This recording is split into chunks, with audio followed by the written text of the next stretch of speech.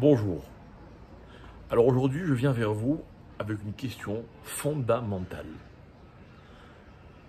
Vous le savez, depuis quelques jours, nous sommes dans la partie de l'année que nous appelons dans la tradition l'hiver.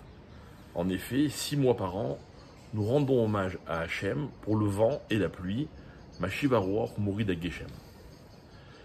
Pendant les autres six mois, nous sommes dans la période qui s'appelle l'été. Et là, nous disons Moridatal, celui qui fait tomber, descendre littéralement la rosée. En effet, en Israël, grosso modo, il y a six mois de pluie et six mois de, euh, dans lesquels il n'y a pas de pluie. Pendant six mois, la nature, elle produit, c'est l'été. La nature est active. La nature donne des fruits. Elle est performante. Elle donne des résultats. Pendant les six autres mois, l'hiver, la nature s'endort, la nature se, fige, les animaux se cachent, les arbres perdent leurs feuilles, etc., etc. Et voilà que nos maîtres vont discuter pour savoir quand est-ce que Dieu a créé le monde. En Tishri ou en Nissan.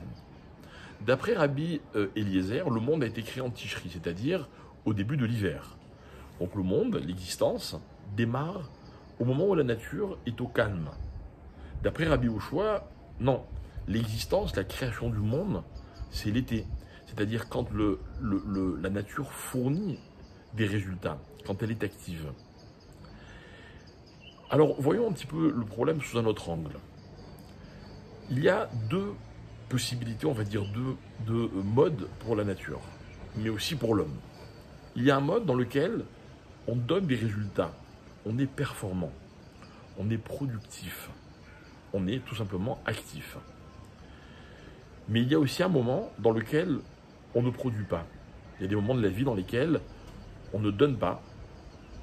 On a l'impression de ne pas être, encore une fois, performant. Et là, nos maîtres se demandent, Rabbi d'un côté, Rabbi au choix de l'autre, finalement, c'est quoi exister? Demandez autour de vous. Je suis sûr que beaucoup vous diront qu'exister, ben, c'est euh, par rapport à nos résultats. Quand quelqu'un est dans la vie active, quand quelqu'un euh, euh, donne ce qu'il est capable de donner, on va dire, ah oui, lui, il existe vraiment.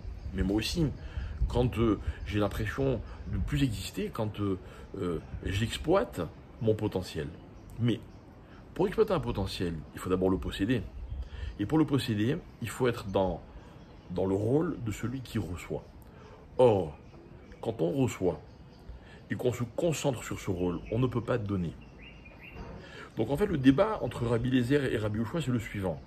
Est-ce que l'existence commence quand on reçoit, c'est-à-dire quand on, construit son potentiel, ou est-ce que l'existence démarre quand on exploite son potentiel? Qu'est-ce qui existait? Et puis le monde veut nous faire croire que dans la vie, on existe réellement quand on est productif. Hein, les gens croient que réussir, c'est faire des choses, c'est exploiter ses capacités. Et voilà que Rabbi Eliezer nous dit que le monde a été créé en hiver, comme maintenant.